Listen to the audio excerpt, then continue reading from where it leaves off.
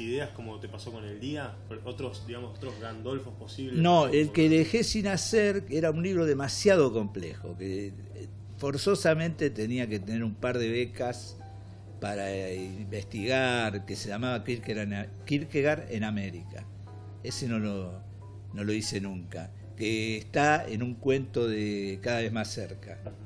Ahí lo atribuyo a un escritor tope uruguayo secreto, medio como era Lebrero un poco, en la época todavía no había computadora, y le presta a este periodista, que soy yo nítidamente, una novela gigantesca, dice, cuídamela, que es el único original. Obviamente va al diario y se la olvida en un taxi, que está basado eso en el día que me olvidé una bolsa de revistas para un amigo, Galici, y que uno sale corriendo y está seguro que lo va a encontrar y no, no, no.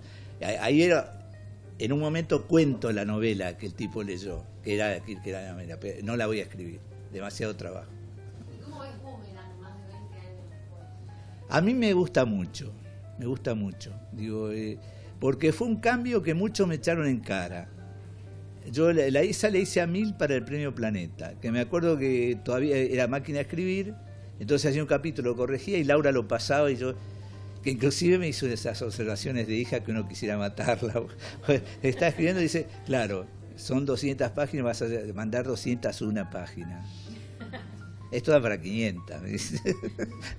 Habrá tenido razón, pero en cuanto llegué a la, 500, a la 201 la, la despaché, ¿no? ¿Y ¿Qué, qué te quisieron matar? Decís que... ¿Con qué? Publiqué el libro y dijiste, me, se me tiraron con todo, no sé qué. ¿Con cuál, cuál libro? Con Boomerang. La Forgue. No está mal, no está mal tu libro. A mí me gusta tu otro estilo. 20 me lo dijeron, ¿eh? no fue el solo, porque era cierto. Eso tiene fórmula, pero fórmula en acción. Digo, no es exactamente una policial, es como si fuera un thriller romántico. Y lo que es una observación que hizo una vez Soriano era que el libro preferido de los escritores jóvenes de Arl es El juguete rabioso.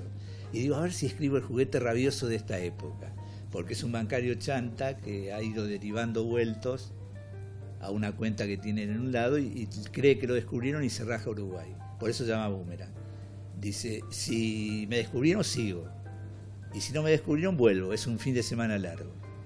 Y al final se da cuenta, el amigo, hay un personaje que es un amigo, sabe mucho de computación, que le dio la clave. ¿Sabes qué se puede hacer? Así, tenía, y lo, lo concretó. Y en un momento el amigo le dice, no, vaciaron el banco, los dueños. Al lado de eso, lo que vos afanaste es como si fuera el chicle en la pata de un elefante. Que además hubo robos así en esa época. Que a mí me sacaba de quicio, yo soy muy organizador. Entonces llamaba y decía, tienen que aprovechar la noticia que salió. ah, ahora sos, te encargas de publicidad. esa cosa medio porteña, ¿no? Medio de fondo estás también hablando del estilo, ¿no?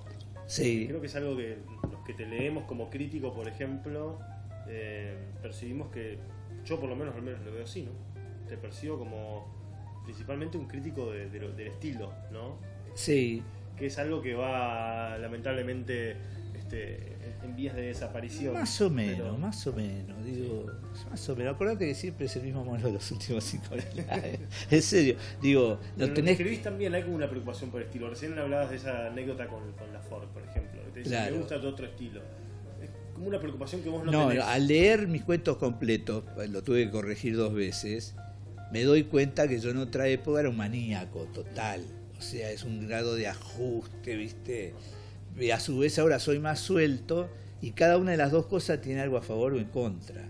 Yo durante una década había hecho un cuento inicial que se llamaba Vivirna Salina y me decía, está bueno esto, pero al lado de Vivirna Salina era como, que era mentira. Después aceptaron que, había escrito otras cosas y se fue perdiendo esa idea, ¿no? Eh, me asombró esa, ese extremo ajuste. Y por otro lado, tenía que ver con falta de experiencia. Viste que uno a lo largo de los años va teniendo experiencia, o sea, me aferraba mucho, casi como era como un corralito el estilo, así así. Digo, no, y si camino dos pasos más y me voy de boca, entonces lo, lo, modificaba.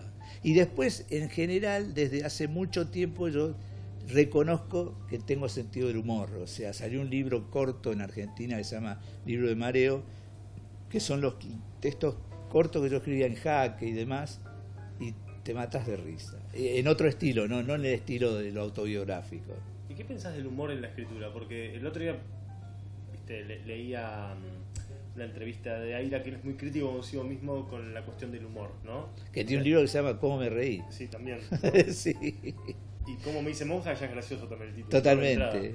Este, y él en realidad es muy crítico consigo mismo a, la hora de, de, evaluar su humor. Piensa que es como algo que interrumpe, ¿no? Lo que pasa es que tiene una, lo que tiene, él, tiene una cabeza fuera de serie. O sea, te hace reír. Yo estoy seguro que cuando escribe él cree que está escribiendo algo serio a veces. Porque vos lo lees, es desopilante. Y después, cuando él hace descripciones de algo real, por ejemplo, hay un libro que es con un famoso director de colección que había en Centro Editor, todo lo que cuenta de las editoriales en esa época, cómo cambiaron después, mira que es un libro corto. El tipo este, más, es totalmente real. Después viene lo de él. Ese tipo le editó el primer libro. Entonces cada vez que se encontraban, él le decía, salió de imprenta y el tipo le decía, ¿sabes que me dijeron que hoy venía el camión para acá? Entonces la situación lo va alargando a lo largo de, de años y años, y el tipo termina no siendo escritor porque el libro no salió nunca. Eso es mentira.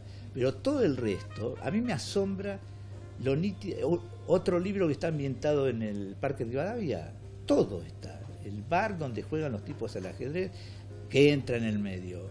Dice, todo, a mí me pasó pensando en Titán Narvaja, toda feria del libro tiene un personaje siniestro que uno quiere evitar, pero siempre se lo encuentra. Que es alguien que te dice, fulano, y este tipo una especie de bichicomio, lumpen, así. Dice, mira, te quería decir una cosa. Esta es la idea loca, ¿no? Domino los elementos. Y no me digas que no, porque yo sé que vos me considerás un imbécil. Pero necesito a alguien inteligente que me acompañe. Entonces, te enseño a dominar los, los, los elementos, pero a cambio de eso nunca más vas a poder escribir una línea de literatura. Y Aira se va y dice, bueno, he escrito bastante ya, lo tienta, ¿no? Pero todo lo que está describiendo sostiene mucho el libro.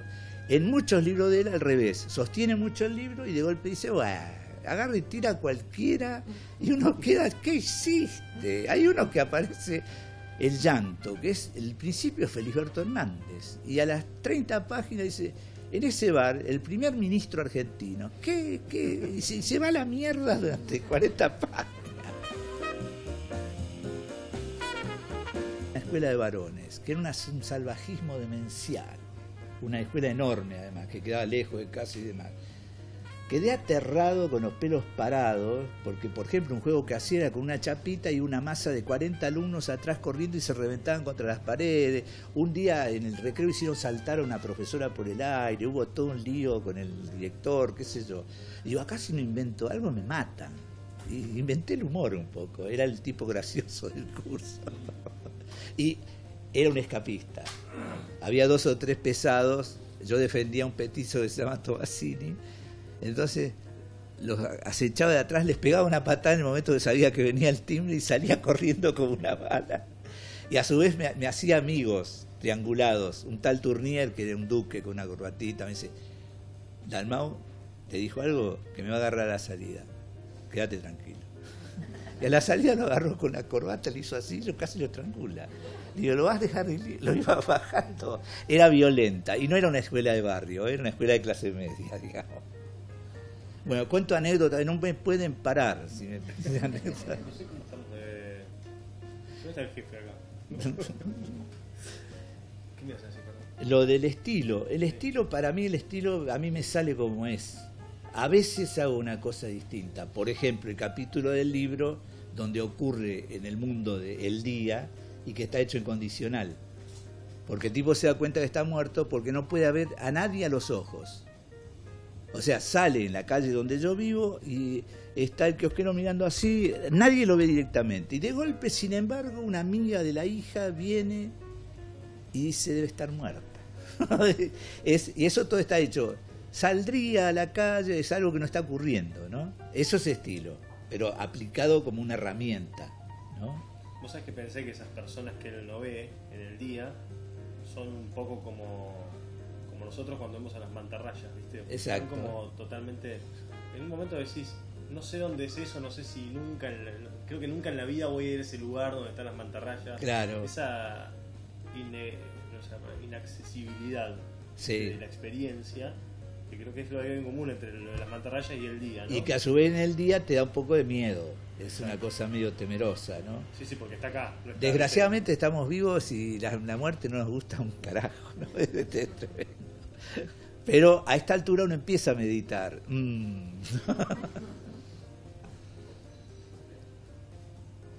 Alguien quiere romper este silencio brutal. Si no, yo tengo casi una última pregunta, te diría, ¿no? ¿Cómo? Si no, yo tengo casi que una última pregunta. Ah, bueno, dale. Este, por esto de que estás acá, ¿viste? te entrevistan acá y te dicen, uy, pero siempre vas para Argentina. Te vemos después en Argentina en un programa, viste, de televisión o algo, y te sacan la cuestión de Uruguay y te preguntan de la cultura de aquí, de allá. Este, Ahora, nunca jamás me habían hecho tantas entrevistas como con este libro, nunca. Ajá. Debo ir por 10 ya. Digo, escritas, me asombró también. Ojalá haya un hueco adentro del cual yo entro y se entra a vender sin fin. Quizás es porque pasa en tu mundo privado. Claro, claro. está pasando todo lo que Un día despierto y digo, no, lo inventé yo todo. Estoy de nuevo en el punto, Buscas el libro, no está como el juego de la oca, estoy en el, el primer recuadro. No, y te decía, eh, ¿cómo te tomás esto de que cada siempre te preguntan, viste, en Argentina te preguntan, ¿cómo está la... Te miraba creo que los siete locos hace poco, ¿no? Ah, sí. Y te dicen, ¿cómo está la cuestión en Uruguay? Viste que te preguntan, ¿estás acá? Y te dicen, bueno, ¿qué, ¿cómo es el panorama en Argentina? Te no van- te voy a decir eso que No, sería muy digo- tonto decir, sos el embajador de los dos pueblos. sería- No, acá yo hice dos intentos hace mucho, mucho tiempo, cuando todavía vivía Beto Lelloni. Hay una cosa absurda, que el 90% de lo que se edita acá no se conoce en Argentina y viceversa. Por ejemplo, los grandes grupos no traen. Este lo trajo, se trajo, creo, además, porque Paola está desesperada porque funcione bien, etcétera. Pero dos veces fui tal cual el embajador, o sea, Arca y Banda querían eh, hacer un negocio con tal, tal y tal editorial argentina, que eran otras que las de hoy, y yo iba, daba los planteos y me decían, ya les vamos a contestar, y no movían nada, nada, pero ni medio músculo del meñique. Cuatro años después caí de vuelta y ahí dije, nunca más, no hay gana, qué sé yo. Es algo extraño, después está muy, muy extraño los mundos cruzados. Saer acá vino, bien, por Seis Barral, y no anduvo. O sea, estuvo en saldo después, ¿viste? Obvio que anduvo entre la gente súper inteligente que lee mucho y demás, pero no, no, no la pegó, no a nivel bestseller, pero vender un poco, ¿no? Eh, son cruces raros. En Argentina no se ha sabido hacer un chivito, nunca. Pero incluso un uruguayo que tenía un bar no sabía hacer el chivito. Y acá todo local de saldo de libros se fundió. Ahora hay uno por lo menos. Pero te acordás que hubo acá. Cada uno de esos. Pues no está la costumbre del saldo. Hay que ir a la feria. Esas son cosas que no las entendés. En un libro bueno de, de una mujer que va a Inglaterra, un libro de William Gibson. eh, para ella Inglaterra es el mundo del espejo, pues se maneja del otro lado, etcétera, etcétera. Dice, bueno, ¿qué es lo que los ingleses no pueden entender de los norteamericanos? Las armas. No les entra en la cabeza. Ahora un poco más porque se pudrió todo el mundo, ¿viste? Pero. Y a su vez, ¿qué es lo que no pueden entender los norteamericanos de los ingleses?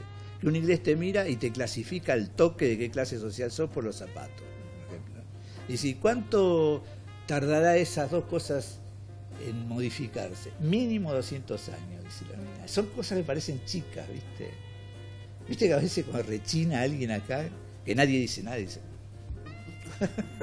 la pifió, la pifió. ¿Qué, qué te gustaría visitar? Me gustaría ir de nuevo a España. Digo, primero porque tengo un hermano, que tengo a alguien ahí.